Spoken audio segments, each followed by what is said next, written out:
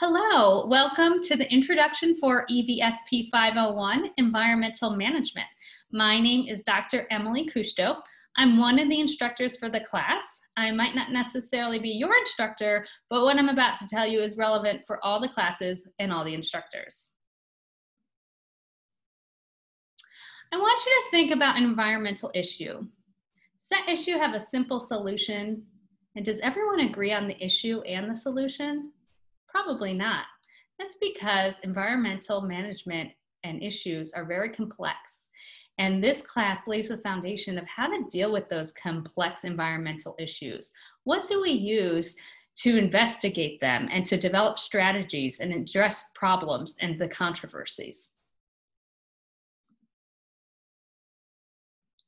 The course outcomes are all listed on the left for you, and I'm not going to read them out. You can read them in your own time. But what I want to talk to you about is the relevance to the field. Not only do I teach this class, but I also work in the field.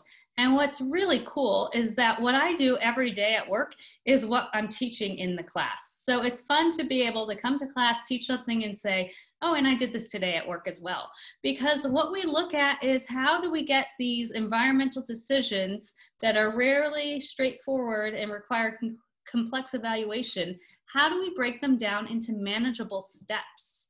And then how do we get make sure that we understand the complete issues and we make sure that we understand who all the stakeholders are because once you do that then you can keep moving through the steps to develop some recommendations and to make sure everyone's on board and to finally implement successful environmental management plans.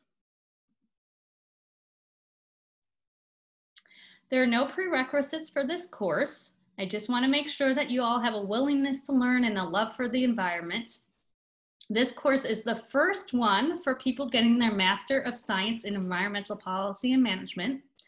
It's also one of the first classes and required for a number of graduate degrees, which are listed there.